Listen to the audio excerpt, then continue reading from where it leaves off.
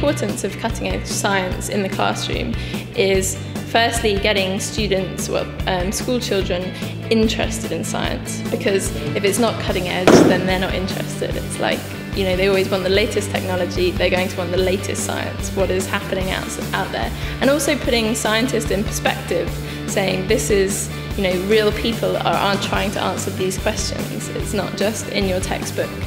Um, people are, you know, we're striving hard out there to answer questions, and the, these are also questions that they might want to answer later on in their careers. Um, well, both heads of science and science teachers um, that we spoke to as part of our research told us that attendance at National Centre CPD impacted positively on pupils um, understanding and enjoyment of science, um, as well as their intentions for further study. The support that's provided by the centre, both whilst you're here and when you're away, is, has been outstanding.